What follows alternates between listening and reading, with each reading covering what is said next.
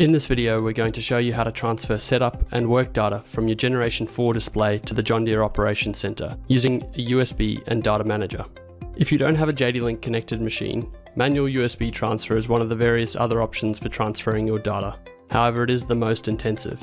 Other methods, including Wi-Fi transfer and the MyTransfer app, are covered in separate videos.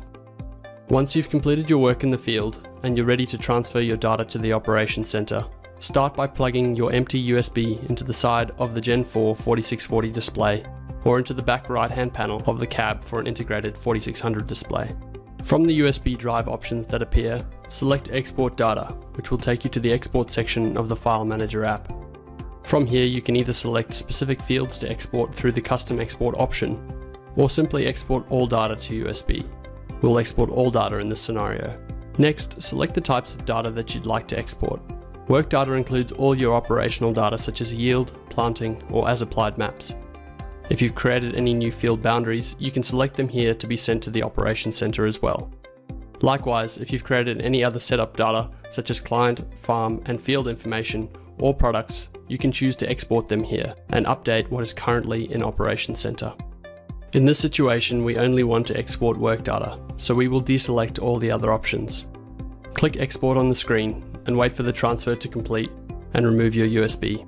Now plug your USB into your computer and open the Data Manager application. If you don't have Data Manager installed on your computer, you can download it from your tools list within the John Deere Operations Center. Once the download is finished, click on it and follow the prompts to install the application on your computer. With Data Manager installed, open it and click on the Login to My John Deere button. After logging in, select the Open My John Deere Data Manager option from the pop-up that appears in your browser. Data Manager is now linked to your Operations Center account, and you will not need to log in again unless you uninstall the application. With Data Manager open, select your USB drive from the drop-down list, and you'll see your files populate within the application.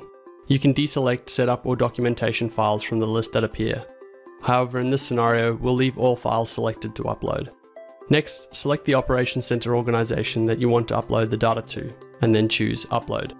Your uploaded data file will now be visible in Files Manager within Operations Center, and any agronomic data will automatically be processed for you to view in Field Analyzer.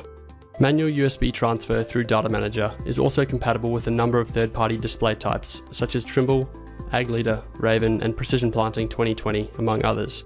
Data can be exported from these displays and uploaded to the Operations Center through the same data manager process covered in this video.